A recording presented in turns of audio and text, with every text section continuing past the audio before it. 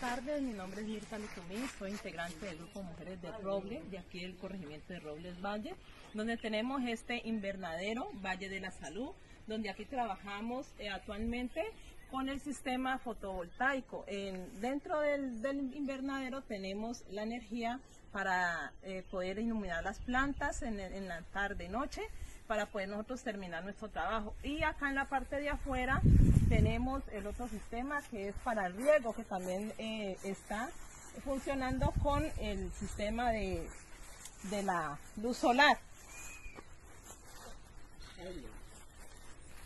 Sí, como lo dice la, compañera, aquí tenemos ya instalados dos paneles para mover eh, una bomba que está introducida en el, eh, y sube el agua al tanque para poder regar nuestras plantas, para poder terminar nuestras labores. Aquí tenemos, se ve salir el agua. Ya está funcionando.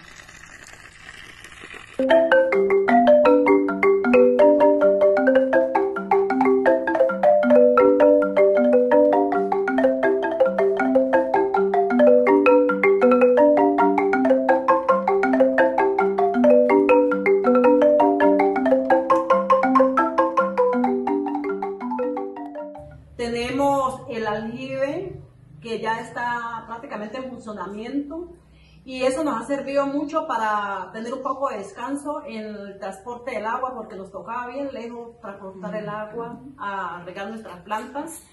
Y sí estamos satisfechas.